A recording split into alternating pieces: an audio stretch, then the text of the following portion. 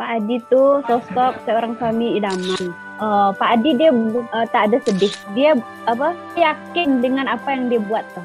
Apa pun yang dia kerjakan dia yakin. Dia tak akan pernah bersedih. Semangat bajanya oke okay, gitu. Dia jarang lah kalau buat aku kesal jarang. Tapi dia tuh orangnya lucu. Selalu buat apa? Bahasa Melayunya kelakar orangnya lucu. Dia suka menghabiskan masa dengan suami dan anak-anak di rumah.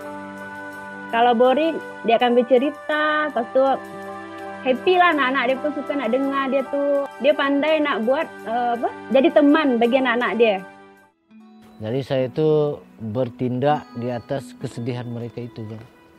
Gimana ya di situ saya mula memasak lagi tuh. Sekurang-kurangnya pasal saya tahu orang ini memang suka masakan saya dulu kan.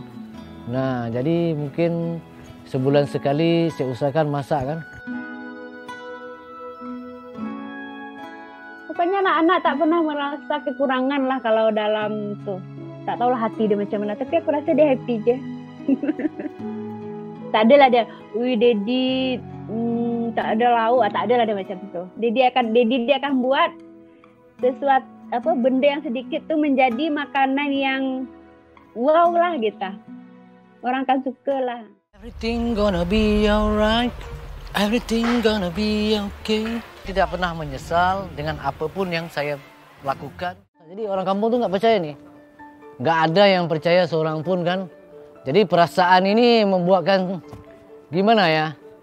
Rasa tidak puas hati yang baik kan. Jadi saya nggak apa-apa. Akan sampai satu hari nanti saya bisa membuktikan saya bisa masak.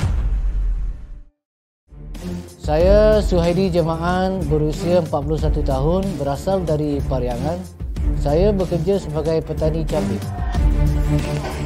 Hari ini saya akan masak bebek bersama dengan uh, pergedel kentang di, dihidangkan bersama uh, anyang